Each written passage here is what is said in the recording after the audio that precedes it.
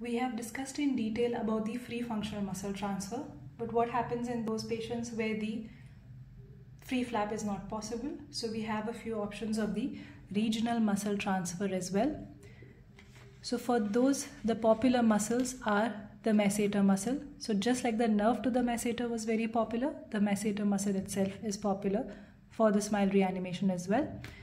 But over here, the temporalis muscle also takes first place. So how is the temporalis muscle transferred? In the initial videos, we have seen the use of the temporalis muscle for the eye closure to replace the action of the orbicularis oculi.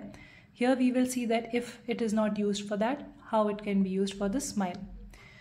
So usually a temporalis transfer is done with the help of a fascia lata graft or any other sling. And there are two ways of the transfer. One is a Gillies retrograde transfer and one is a McLaughlin antegrade transfer. So here you can see is a depiction of the transfer of the muscle. Now this is the temporalis muscle which is found at the temporal fossa. So here we are going to see how we are going to transfer it. So this is the masseter also described in the same position. We are not going to see the masseter initially. Okay, so we are going to concentrate on the temporalis muscle.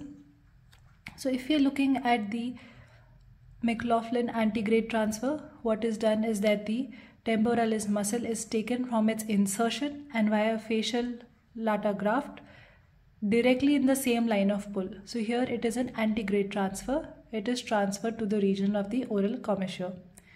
In a retrograde transfer, what is done is that the muscle is dissected from its origin. It is flipped over. Therefore, it's a retrograde transfer and it is passed from over the zygoma on top of it, not under the zygoma. And then it is transferred to the region of the oral commissure. Obviously, there are a lot of drawbacks is that there is a hollowness felt at the region of the donor site in the temporal region. And again, because this is a muscle of mastication, muscle of chewing, it creates some unnatural movements when the smile is to be initiated. The other muscle that is taken is the masseter muscle itself, which is again supplied by the trigeminal nerve. And then the masseter muscle can be taken by splitting it from its insertion and it can be transferred usually directly without the help of another graft. So this also creates a pull in the line of the masseter and it can help to restore the oral commissure.